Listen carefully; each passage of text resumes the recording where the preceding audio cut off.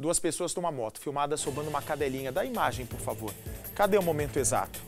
Os donos estão dizendo que não viram a hora que o, a cadelinha saiu de casa. Aí está, eles passam de moto e agora, por meio dessas imagens, a polícia tenta localizar os homens que simplesmente desapareceram com o animal de estimação. Bonitinha ela, hein? Deixa eu ver a reportagem para saber em que circunstância aconteceu isso. É roubo mesmo? É roubo? Será que não ficaram preocupados vendo um cachorrinho desse no meio da rua e, e levaram para casa para tirar do meio da rua, não?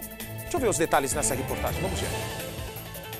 O pequeno Yuri, de apenas 5 anos, faz um apelo. Você devolve minha cachorra, que eu gosto muito dela. Ele e a irmã Amanda, de dois aninhos, estão tristes desde que a cachorrinha da família foi levada. Pandora é da raça Shih Tzu, tem quatro meses e é a alegria da casa. Toda a família estava almoçando em casa quando Pandora sumiu.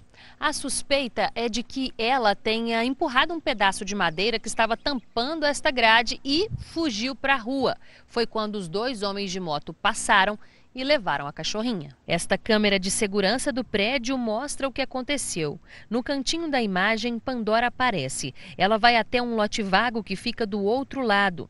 Um carro passa pela rua e um homem também. A dupla sobe a rua de moto. Eles percebem que a cachorrinha está sozinha. O garupa desce da moto. O piloto dá ré. O homem pega Pandora e sobe na moto. Eles fazem um retorno e vão embora. Eu acredito que eles que eles estavam fazendo um, um, trajeto deles pessoal aí, não tinha nada. Para mim, acho que eles não tinham a cachorro em vista, não, porque ela tinha saído exatamente naquele momento.